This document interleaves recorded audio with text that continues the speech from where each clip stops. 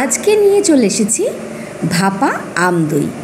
ও ভাপা আম দই বানানোর জন্য আমি নিয়ে নিয়েছি একশো গ্রাম জল ঝরানো টক দই আর নিয়ে নিয়েছি এখানে একটা গোটা আমের পাল্প।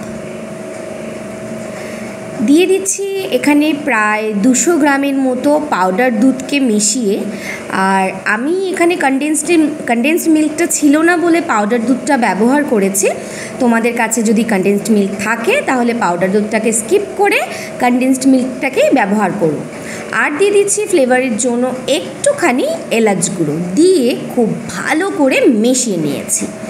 এবারে নিয়ে নিচ্ছি একটা স্টিলের বাটি, আর ওটাকে বাটার দিয়ে খুব ভালোভাবে গ্রিস করে নিয়েছি। দিয়ে দিয়েছি নিচে একটা বাটার পেপার, আর আম দইটাকে যে ভালোভাবে মিক্স করে রেখেছিলাম সেটাকে বাটির মধ্যে দিয়ে এবারে আমি স্টিমে বসিয়ে দিয়েছি। স্টিম হতে প্রায় কুড়ি মিনিট লেগেছে। কুড়ি মিনিট পরে এটাকে ঠান্ডা করে এবারে আমি একটা পাত্র নিয়ে বা প্লেট নিয়ে বের করে নেব। আর এই কাজটা কিন্তু ঠান্ডা হওয়ার পরে একেবারে ফ্রিজ করে তারপরে বের করতে হবে। না হলে কিন্তু ভাপা দইটা একেবারেই ভেঙে যাবে।